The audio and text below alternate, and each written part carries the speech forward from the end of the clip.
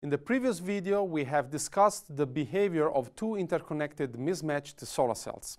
Now, we will see how to prevent the power loss caused by the mismatch by using bypass and blocking diodes. In particular, we shall look at the case in which the mismatch is caused by shading and thus the lifetime of your uh, PV module is threatened by hotspot heating of the cell. To avoid junction breakdown, uh, we use bypass and blocking diodes, which are necessary in real-life conditions. Let's first see what happens when uh, the solar cell is full or partially shaded. If the cell is not covered, then uh, the typical IV characteristic is reported in the graph. But things change as the coverage increases and uh, thus a partially shaded cell shows a rigid shift downwards of the current voltage characteristic.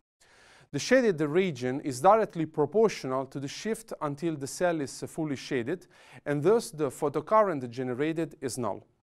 Problems arise at module level because the shading of a single cell implies a current mismatch in the PV module. So it is important to know what is the topology and how the cells are connected together. For example, depending on how you mount the module, vertically or horizontally, and uh, its internal configuration, your module can be more or less uh, resilient against the shading.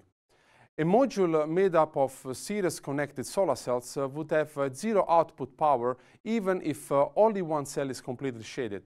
But the situation is different when uh, the module is made of two branches connected in parallel. Indeed, it can happen that only one branch is shaded, so at least the other one can deliver some power. An example of a hotspot heating may occur when uh, one of out of 10 series connected cells is completely shaded, causing the good cells to counterpolarize the shaded one. As a consequence, the occurring power dissipation is concentrated on the small area of the shaded cell and it causes a local overheating or hotspot. And hotspot may lead to destructive effects such as uh, cell or glass cracking as shown in the picture or even melting of solder materials and the degradation of the solar cell, dramatically decreasing the module lifetime. As we have already seen, a solar cell inside the circuit is uh, represented with a current generator and a diode in parallel. The corresponding IV curve is uh, depicted in the graph on the right-hand side. Now we are going to introduce you an additional element called the bypass diode. Its role is to avoid the destructive effect of uh, hotspot heating when a solar cell is dissipating power of other cells in case of current mismatch. Therefore, uh, the role of a bypass diode is to preserve module integrity and lifetime. Such a diode is connected in parallel but with opposite polarity with respect to the cell. This means that uh, in normal operation, each, cell so each solar cell is forward biased, while the bypass diode is reverse biased. In the graph, it is reported how the current voltage characteristic changes when introducing the bypass diode. Between uh, 0.6 and 0.7 volt in a negative bias, the bypass diode is activated and it will raise immediately the current, avoiding the breakdown of the cell. Let's now place uh, two solar cells in series and investigate their behavior more in detail. In case of uh, open circuit, whatever is the illumination condition on each cell, the two devices uh, will not be connected to any load and uh, we would just see the sum of the two voltages. When we short circuit the two solar cells and we are in a current matching situation, then both cells are delivering the same amount of current as depicted by the red arrows, and the, the bypass diodes are inactive, being reverse biased. The positive effect of the bypass diode kicks in when uh, there is a current mismatch. Here, the green cell receives more irradiance and has a forward bias. On the other hand, the partially shaded blue cell is reverse biased in these conditions, the bypass diode is thus activated. Indeed, the current that was supposed to flow through the shaded cell would instead activate as soon as possible the bypass diode that is mounted counterpolarized with respect to the cell. This means that when we have two cells in series that are short-circuited, then the cell receiving lower irradiance would see a negative bias, which would activate the bypass diode that is mounted counterpolarized.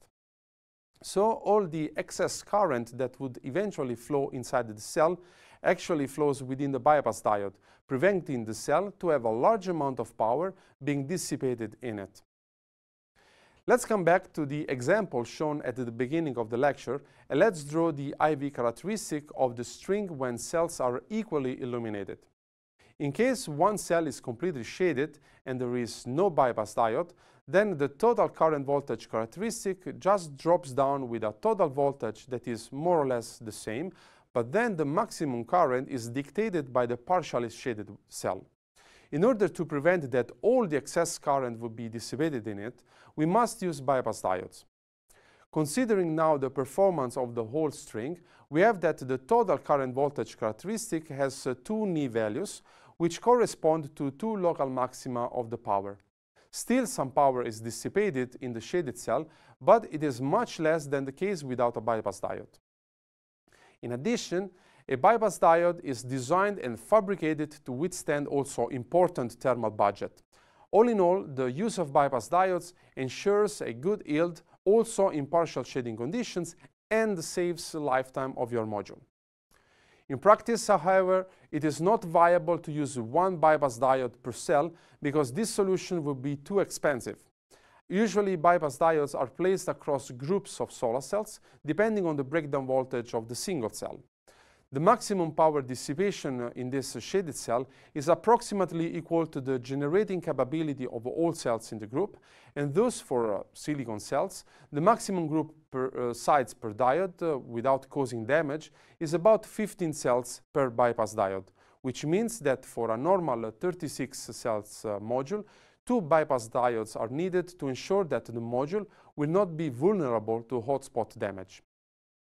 Until now, we have seen series and parallel connection among cells within the module, but note that you can also have modules that are connected together in strings and then in arrays. So we have to project the same type of problems discussed at cell level to module level. Let's imagine a very large PV plant of hundreds of modules. It may happen that one part of the plant is partially shaded by clouds, while the other is, is still well illuminated. As a consequence, partial shading without bypass diodes generates a very huge imbalance that even for a few seconds can hinder the lifespan of the complete PV system. The last topic of this video is uh, the blocking diode. It is used in parallel connected strings or modules uh, in order to prevent current flowing from one parallel string into a lower current string due to partial shading. Therefore, each string to be connected in parallel should have its own blocking diode. Moreover, in systems with batteries, blocking diodes are typically employed to prevent the module from loading the battery at night by preventing current flow from a battery through the PV array. To conclude this video, we have introduced two important components, the bypass diode and the blocking diode, that prevent the negative effects of current mismatch caused by partial shading. In the next video, we will see instead the effects of temperature and irradiance on the performance of the module.